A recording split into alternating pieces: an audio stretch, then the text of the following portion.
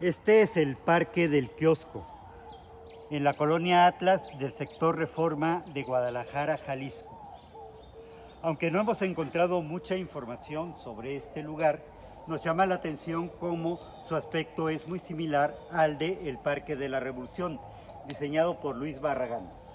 La arquitectura de sus bancas, su herrería y su pavimento, que es un damero con cuadros rojos y grises, denominado Mosaico Guadalajara, son típicos de esta ciudad.